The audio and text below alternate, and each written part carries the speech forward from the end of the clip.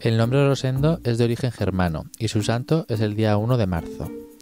El nombre Rosendo es común sobre todo en diferentes países de América Latina.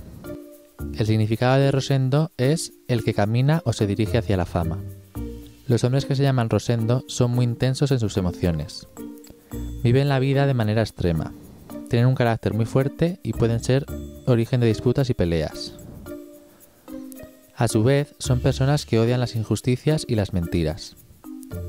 En el ámbito amoroso, son muy románticos y atentos. Darán todo por su pareja, pero nunca perdonarían una infidelidad.